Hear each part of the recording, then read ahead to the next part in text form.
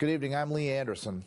A fire off China Hat Road in Bend left a Bend man searching for help. Carly Keenan joins us now with the details. Carly?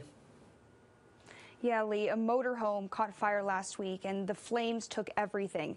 I'm told it took the owner two years to save up enough money just to buy the RV. Two years worth of hard work gone in 15 minutes. 15 minutes for flames to take away everything.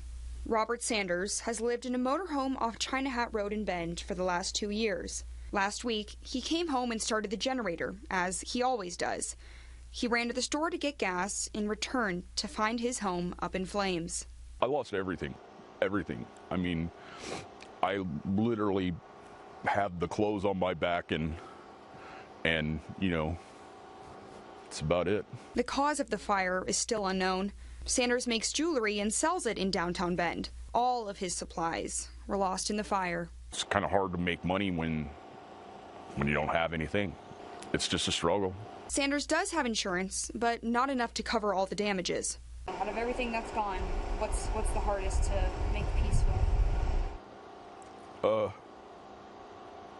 just losing my ability to take care of myself, you know. Um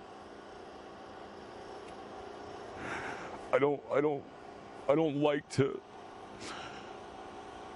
ask for things from people. You know what I mean? I, I, I like to be able to take care of myself.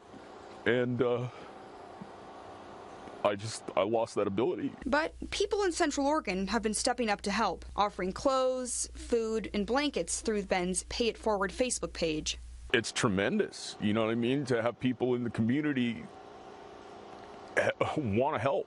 While Sanders searches for his next home, the Red Cross put him and his dog in a motel just got to keep the faith, not let things things like this just tear you down, and and you know, got to overcome. We'll have a link to Robert's GoFundMe in the web version of this story on our website at ktvz.com. Lee?